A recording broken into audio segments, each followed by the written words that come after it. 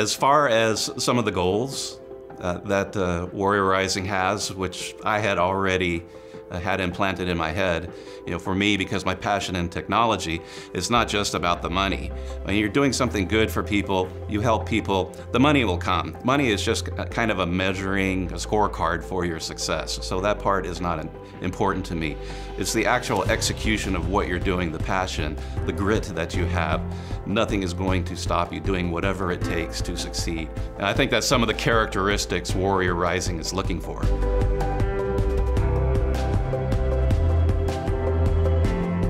1984. Uh, I was a fuel specialist in the U.S. Air Force stationed on Kadena Air Force Base, Okinawa, Japan.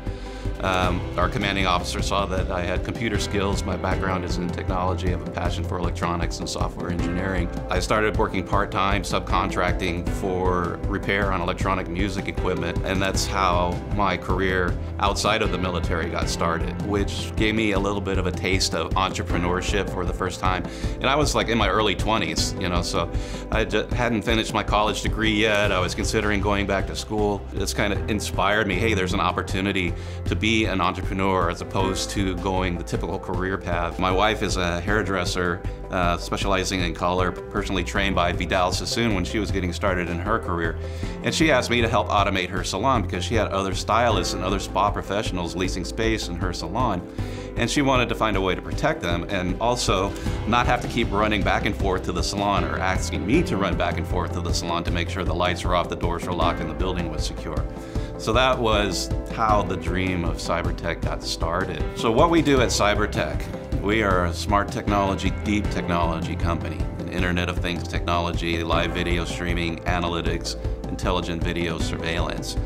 So we cover use cases all the way as far as smart city technology, even into DoD for the warfighter, moving into communities for HOAs and gated communities with the technology solutions that we offer. At SYBOR Tech, we do that and more. With our specialized hardware and our single app, control an ecosystem of smart technology devices without the need for the cloud. We need to count on emergency services and the smart city technology that's starting to evolve and people are starting to understand how it can be used can be beneficial with our platform.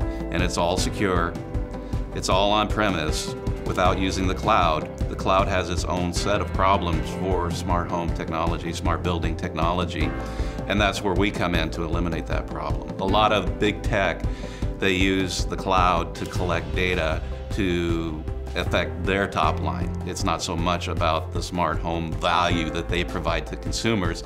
That's the piece that's missing from big tech that we come in and fill that gap with. It was earlier in probably 2022, maybe late 2021, uh, where I was looking to see opportunities for government grant opportunities into technology, research, and innovation. And part of that led me down to some veteran-based uh, entrepreneur accelerators. And that's when I stumbled across Warrior Rising. As part of that process, uh, I went through their cohort and through a separate veterans group, I was invited to pitch at Veterans Business Battle hosted at Rice University in Houston, Texas. And that's when I got to personally meet uh, Jason Van Camp, you know, the executive director of Warrior Rising in person. And he invited me to attend more of their coaching sessions um, and actually uh, potentially even become a mentor on their platform. Um, and it was through those encounters with um, Jason and also the other uh, members of Warrior Rising that he invited me to become a mentor and a coach on their platform and also have the honor to be invited to this business shower in San Antonio. They have people that have been in your position where you are in your journey as an entrepreneur. You can count on them time and time again to come through to help give you, the, as an entrepreneur, as a veteranpreneur, the reassurance that you need if you need some motivation, some encouragement.